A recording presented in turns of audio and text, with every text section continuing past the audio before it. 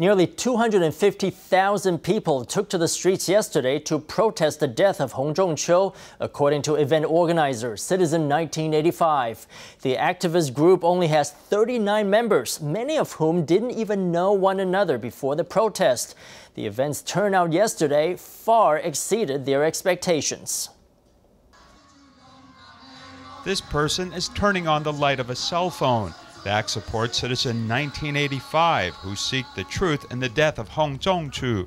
A call for people to protest on Ketagalan Boulevard yesterday ultimately led to 250,000 people turning out. Many are hoping that Hong Cho did not die in vain, as this activist group first formed on July 15th.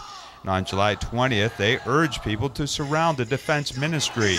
It's quite hard to believe that these actions were all carried out by a group that numbers only 39 members.